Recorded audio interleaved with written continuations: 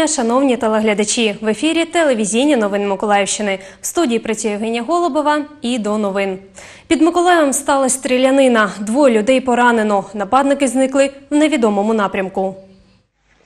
Вибігши на трасу, двоє парубків намагалися кинутись під авто. Один з водіїв вийшов, аби зробити зауваження. Як наслідок, дістав ножове поранення. Пасажир кинувся на допомогу. В нього нападники вже стріляли. Потім кулю отримав і водій. Порушникам вдалося втекти з місця подій ще до приїзду поліції. Водія та пасажира шпиталізовано.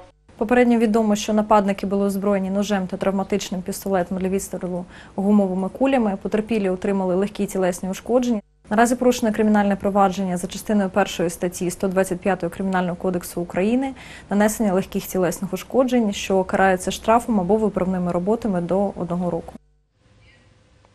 Після кількох днів страшенної спеки на Миколаївщині пішли дощі. Та опади не тільки не принесли полегшення, а й накоїли лиха. Про наслідки природних катаклізмів далі у відеоматеріалі. Після різкого потепління не менш різке погіршення погодних умов. На Миколаївщині шквальний вітер, рясні дощі подекуди з радом призвели до численних неприємностей.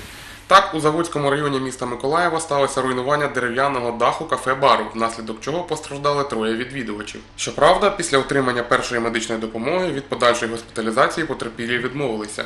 А в центрі на вулиці Потьомкінській ураган спричинив падіння металевої опори контактної мережі, яка, на щастя, не зачепила нікого з людей. Не обійшлося й без аварії. Поліцейський автомобіль на перетині проспекту Миру і вулиці Будівельників врізався в бетонну стіну.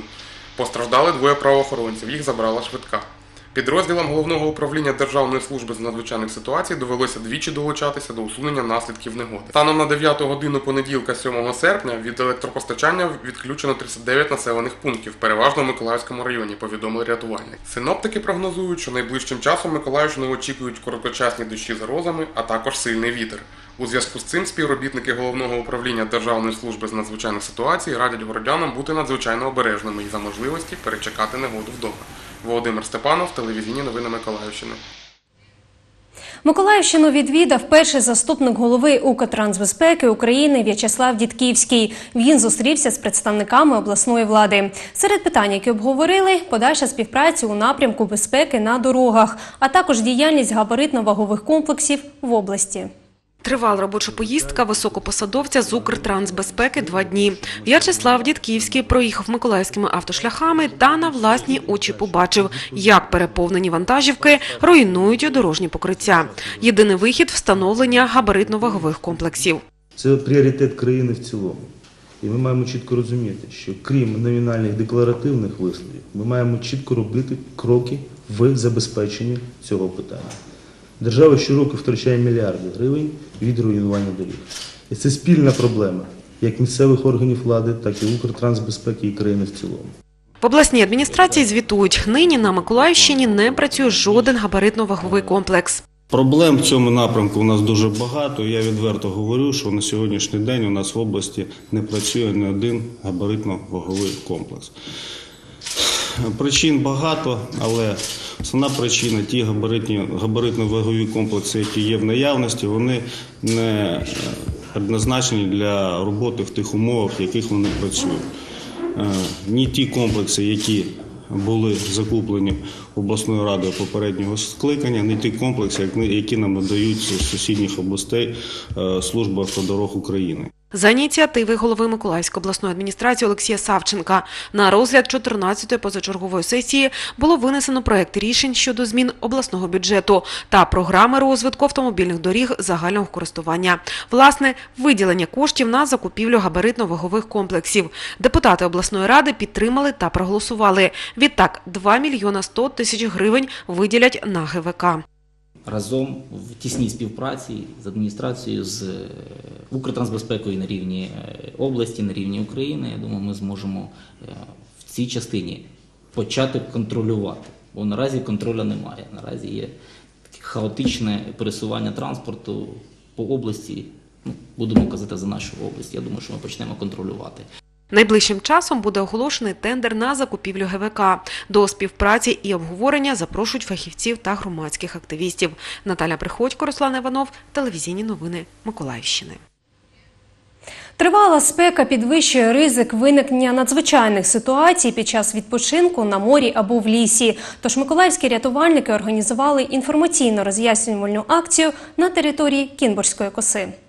Відпочиваючи на Римбівській рекреаційній ділянці, стали учасниками просвітницького заходу від співробітників Головного управління Державної служби надзвичайних ситуацій України у Миколаївській області та представників Національного природного парку Білобережжя Святослава. Загалом ситуація на сьогоднішній день е, досить задовільна, проте за результатами проведення рейду все ж було складено один протокол за проїзд е, автотранспорту поза межами доріг загального користування та розміщення його у лісовкритому кварталі. Час заходу було охоплено значну територію коси, де розмістились як поодинокі туристи, так і наметові містечка. Під час бесід рятувальники нагадали громадянам про необхідність дотримання правил протипожежної поведінки під час відпочинку. Зокрема, коли погода надто спекотна і оголошено п'ятий найвищий клас пожежної небезпеки. Крім того, було проведено ряд бесід та зроблено ряд зауважень щодо розміщення несортованого сміття на території Національного природного парку Білобережжя Святослава. Відбулася низка інформаційних заходів і щодо безпечного відпочинку на воді. Адже, наприклад, купання на надувному матрасі під час сильної морської течії може стати фатальним.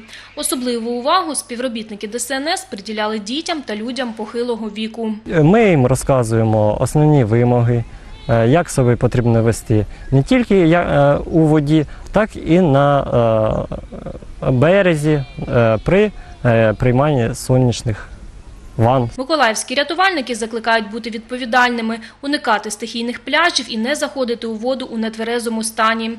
А під час такої аномальної спеки щонайменше перебувати під прямими сонячними променями. В екстрених ситуаціях телефонувати до служби порятунку 101. Ганна Бадіна, телевізійні новини Миколаївщини.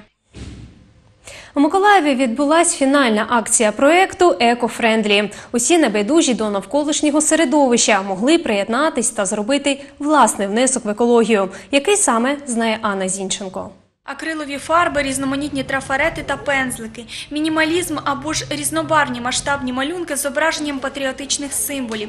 Все на розсуд учасників екологічної акції, в рамках якої кожен мав можливість розмалювати екосумку.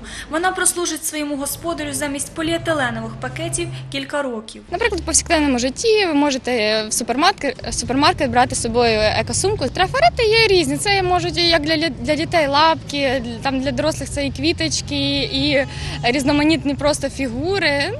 Що завгодно, або людина сама може намалювати все, що їй захочеться. Захід відбувся в центрі міста у Каштановому сквері, щоб охопити якомога більше городян. Участь в акції безкоштовна. Єдина умова вчасно зареєструватись. Я решила присоединиться к этой акции, потому что я вообще очень плохо отношусь к полиэтилену. Я представляю, как он загрязняет окружающую среду. Когда я увидела ту площадь в океане, которая загрязнена полиэтиленовыми банками, полиэтиленовыми бутылками и мешками, мне стало жутко. Поэтому я вообще пользуюсь э, тряпочными вот этими э, полотняными э, сумочками такими для, для того, чтобы что-то купить. Я пришла на, этот, на эту акцию, потому что э, хочется как-то очистить мир от э, пакетов целлофановых. Э, Я рисую на сумке надпись «Украина» с гербом. Э, Я эту сумку буду использовать, чтобы ходить там на какие-то праздники, э, слаживать продукты после магазина. Миколаївці мали змогу не лише цікаво провести дозвілля, а й у такий спосіб покращити та зберегти природу. Адже основна ідея акції популяризація екологічного способу життя шляхом заміни поліетиленових пакетів, які забруднюють наше середовище на текстильні екосумки. Ну, можна сказати, що е, ідея з проектом «Екофрендлі», а саме популяризація екосумок, вона вже давно у нас була, і е, ми вирішили подати це е, таку ідею, подати на конкурс е, е, проєктів е, місцевих, е, і управління з питань молоді підтримало тоді наш проєкт. Ми бачимо е, велику активність з боку людей е, і бачимо, що цей проєкт дійсно актуальний. В рамках проекту «Екофрендлі» вже відбулося п'ять заходів. Організатори наголошують, реалізовуватимуть подібні заходи і надалі. Анна Зінченко, Юрій Руденко, телевізійні новини Миколаївщини. На центральному міському стадіоні відбувся футбольний матч першої ліги четвертого туру між командами МФК Миколаїв та Нафтовик та нафтовик Укрнафта. Про, результати гри далі. Підтримати свою футбольну команду, незважаючи на спеку, прийшли найвідданіші вболівальники. Думаю, что сегодня победит, наверное, Николаев. Они играют лучше. Команда более сбалансированная. Ну, получаем пока удовольствие от игры. Вже у першому таймі миколаївська команда завдяки двом швидким голам вийшла вперед. Настраивали ребят, что надо во первом тайме, пока есть силы, пока нет усталости в такую жару, быстро сделать, и решить, постараться забить, и решить исход матча еще в первом тайме. В принципе, получилось. Э, Забили один, забили второй. Перший гол за миколаївським футболістом Валерієм Рогозинським. Досвідчений півзахисник, який заздалегідь передбачив, як слід було випередити конкурентів та відкрити рахунок. Мы, в принципе, это все наигрывали. Я сразу знал, что Ковалев будет туда делать передачи, просто уже побежал. Просто, ну, как бы чувствовал, что он туда даст передачу, и получилось на опережение сыграть и забить решающий ну, мяч, открыть счет как бы. А потом уже дальше было легче. У другому таймі гра змінилась. Миколаївці стали у захист, намагаючись грати на контратаках. Тут ініціативу перейняли молоді футболісти з Сумщини, які вийшли на заміну. Вони швидко заволоділи м'ячем та почали атакувати. Тож у додатковий час одним ударом зі штрафного один гол все ж таки встигли відіграти. Остаточний рахунок 2-1. Что можно сказать, очень большую фору давать за 10 минут. Вся игра случилась 2-0 по такой жаре.